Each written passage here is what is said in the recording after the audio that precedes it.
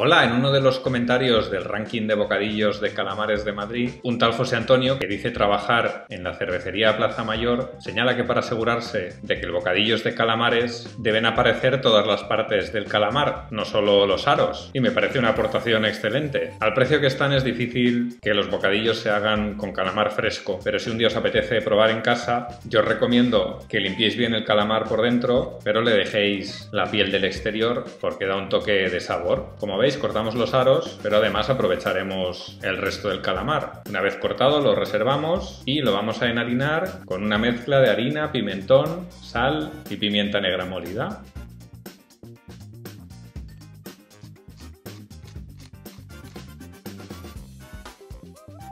Lo removemos bien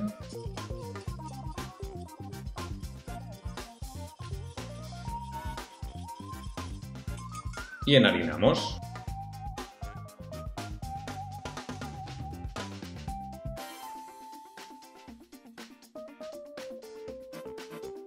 Os aseguráis de que coge bien de harina e inmediatamente lo ponéis en aceite bien caliente. Si os esperáis, la harina cogerá humedad y se pegarán los calamares. Y esto no tarda nada, en un par de minutos estará listo. Lo retiráis y lo escurrís con ayuda de un papel. Y para que el bocadillo no sea tan seco, le vamos a añadir mayonesa, que hacemos como siempre. Muchos de vosotros me recomendáis la lactonesa, la mayonesa en la que se sustituye el huevo por leche, y es una opción interesante. Si lo queréis probar, os animo a hacerlo. Ya sabéis, huevo, limón, aceite, sal y pimienta y en este caso la dejo bastante líquida para no abusar del aceite.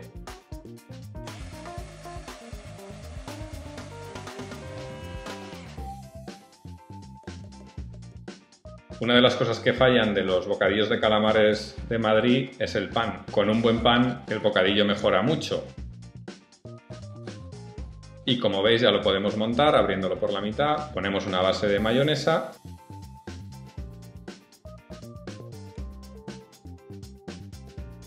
y encima los calamares. Facilísimo, ¿verdad? Bueno, espero que os haya gustado. Un abrazo, hasta luego.